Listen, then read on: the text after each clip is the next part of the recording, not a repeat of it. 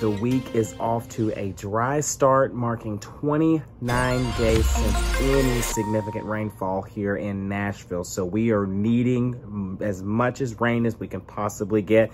And there is some good news. We are going to have some rain that is going to make a comeback this week with some possible strong to severe storms, uh, especially as you go towards Wednesday into Thursday. We're going to talk more about that here in just a few seconds here.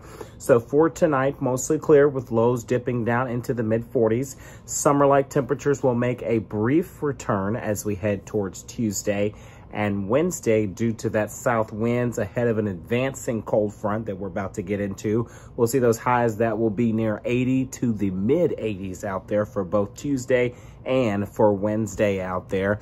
We're going to see some showers and even a few rumbles of thunder that will be possible Wednesday night into Thursday as that cold front pushes through. Although this will not be a soaking rain, we will take whatever relief that, again, that we can get for now. The greatest threat from possible strong thunderstorms would just be damaging winds.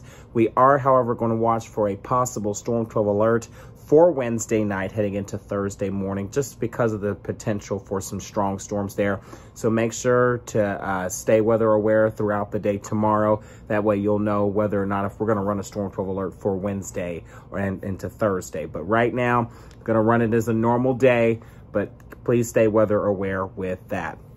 Like I said, a sharp drop in temperatures will occur by Thursday as the cold front moves our way and then highs then and for Friday will only make it into the lower 70s with plenty of sunshine returning.